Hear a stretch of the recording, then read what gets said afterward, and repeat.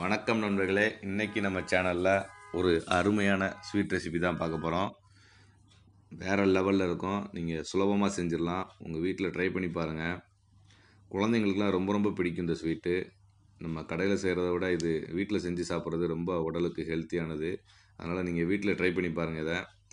ரொம்ப ரொம்ப ஈஸியாக செஞ்சிடலாம் இது.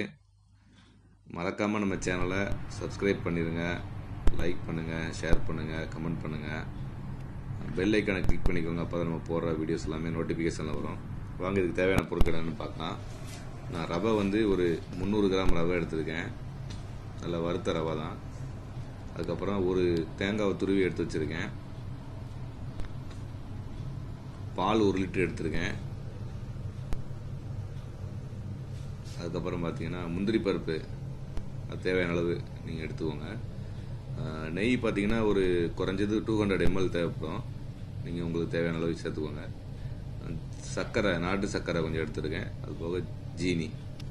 ரெண்டுமே பாதி பாதி ரேஷியோவில் சேர்த்துருக்கேன்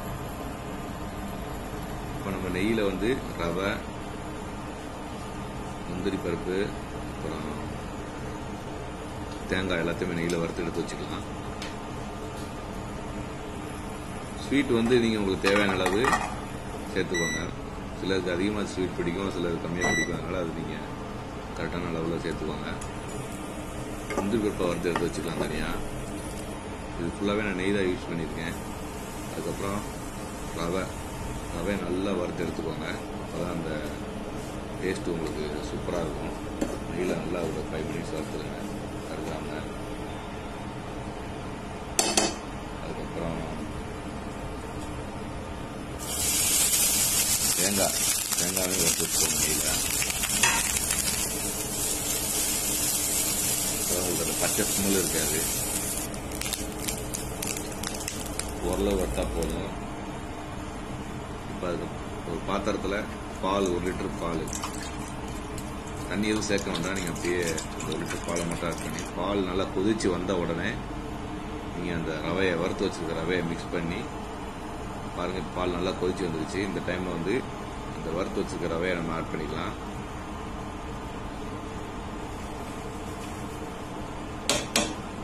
நல்லா மிக்ஸ் பண்ணி விட்டுக்கோங்க. பாருங்கள் இந்த மாதிரி நல்லா பாலில் மிக்ஸ் ஆகணும். மிக்ஸ் ஆகி ஒரு டூ த்ரீ மினிட்ஸில் அதுவாகவே கட்டி ஆகிடும் அந்த ஸ்டேஜில் வந்து நீங்கள் துருவி வச்சு அந்த வறுத்து வச்சுருக்க தேங்காவை சேர்த்துக்கலாம். நெய்யில் வறுத்து வச்சுருக்க தேங்காய். அடுப்பை ரொம்ப கம்மி பண்ணி வச்சுக்கோங்க. அடி பிடிச்சிடும் தேங்காய் சேர்த்து நல்லா மிக்ஸ் பண்ணி விட்டுக்கோங்க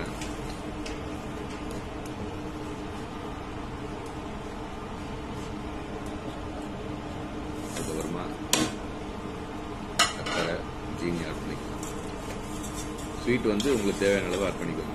நான் ஒரு கிட்டத்தட்ட ஒரு கால் கிலோ ரேஞ்சில் தான் ஆட் பண்ணியிருக்கேன். நல்லா மிக்ஸ் பண்ணி விட்டுக்கோங்க. அந்த ஜீனி கேஸ் அந்த சுகர் கரையிறப்போ உங்களுக்கு ஆட்டோமேட்டிக்காக அந்த ஒரு ஸ்டேஜ் கிடைக்கும். பாருங்கள் பாருங்க எப்படி கரைஞ்சதுக்கப்புறம் எப்படி இருக்குங்க நல்லா மிக்ஸ் பண்ணி விட்டுக்கோங்க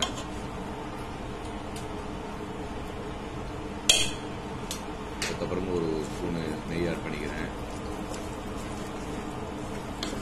ஃபுல்லாகவே நெய்யில் பண்ணுறதுனால உங்களுக்கு டேஸ்ட்டு வேறு லெவலில் இருக்கும். நெய் பிடிக்காதவங்க ஆயில் கூட பண்ணிக்கலாம்.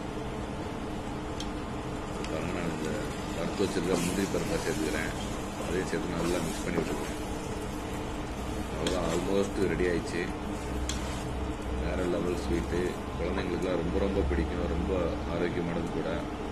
மறக்காமல் உங்கள் வீட்டில் ட்ரை பண்ணி பாருங்கள் நம்ம சேனலை லைக் பண்ணுங்கள் ஷேர் பண்ணுங்கள் கமெண்ட் பண்ணுங்கள் சப்ஸ்கிரைப் பண்ணுங்கள்